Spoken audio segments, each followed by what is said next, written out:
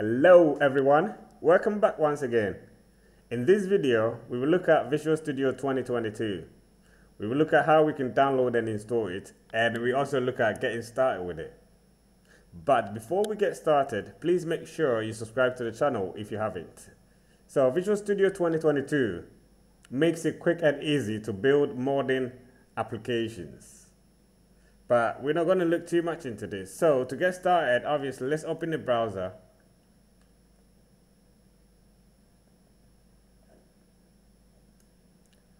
So just go Google and uh, Visual Studio 2022.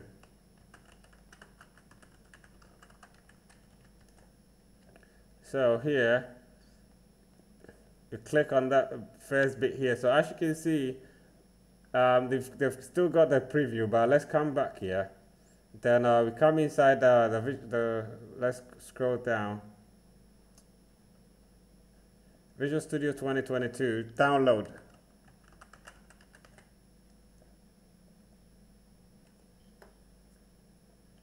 So we come here to the uh, this part here. So here we click on the Visual Studio 2022. So as you can see here now, we've got Visual Studio 2022. So we click and then we select what is actually applicable to us. In this case, we're just gonna select the community version. Yeah. So we come to this that we should get the download started automatically.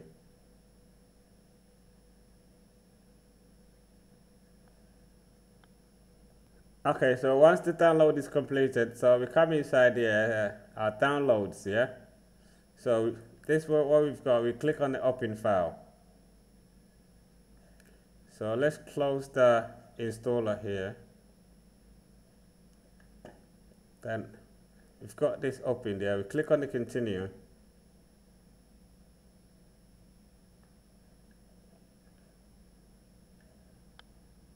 So now this is what we actually get. So here we can actually add some workloads to it, yeah? So we can add ASP.NET and web development bit. Then we can add a mobile development as well. So we can scroll down and see what actually is here so we can also add a desktop development with uh, C++, Universal Windows Platform development, um, mobile development with C++. So let's scroll down. So this is all the, the workloads that you can add. So you can also add individual components by clicking on this tab. Yeah, so you can scroll down and add whatever component that is actually applicable to you.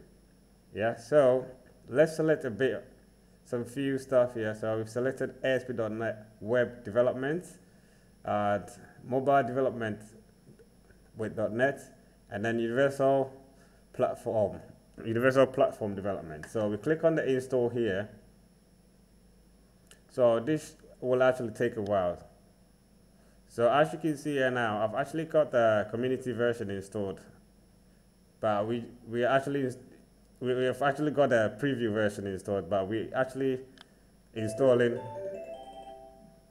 Yeah, so sorry about that. Just a, a quick phone call. So we've got the download actually completed, the update version or whatever. So we're just going to pause the video while the whole thing.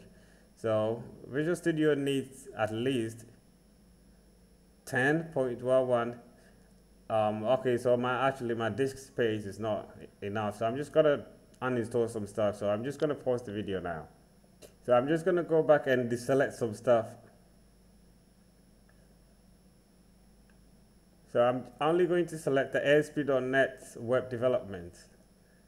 That is just 6 gig here. So I'm just going to select that for now. So I'm just going to um, download and install it for the time being.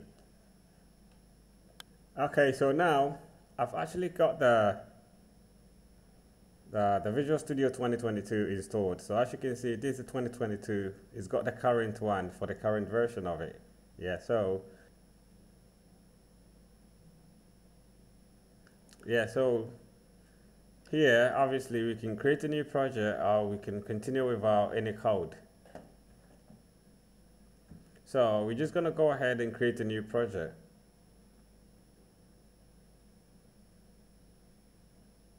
So this is what we actually get for the first time.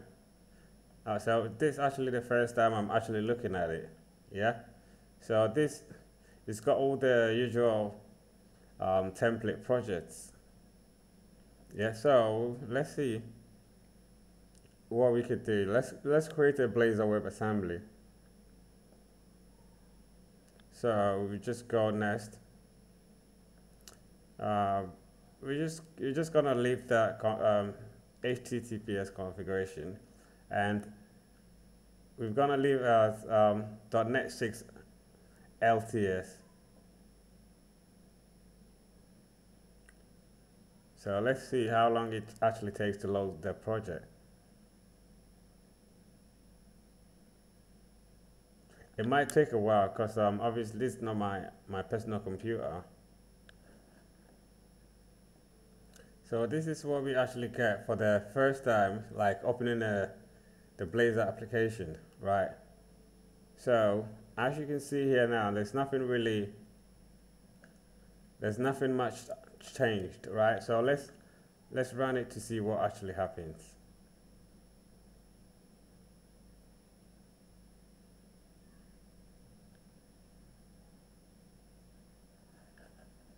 So yeah, we've got the the app being built now. So as you can see here now, there's this actually flame here.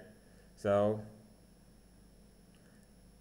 it seems to me more like it's a hot reload. So basically you can you can edit the code while it's being debugged without actually stopping it from running, right? So let's see what actually. so this is this is basically the console server.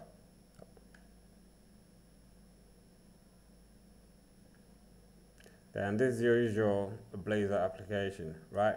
So there's nothing really, nothing much really changed, but obviously we will look into much details on my next up on my upcoming videos, right? So I'm actually going to leave this video here. And on my next videos, we can explore further, right? So once again, yeah, if you haven't subscribed to the channel, please make sure you do because I've got lots of videos coming up. But if you have, stay tuned.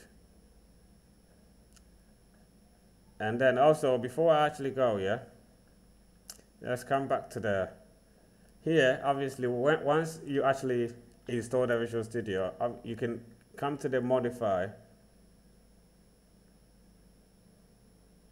and then here, click on the individual components. So from here, obviously, you can add individual components or extensions to your Visual Studio, right?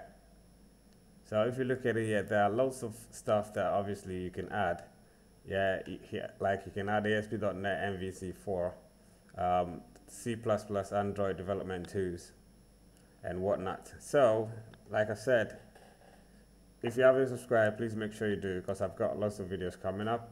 And good morning, good afternoon, evening, wherever you are. Peace.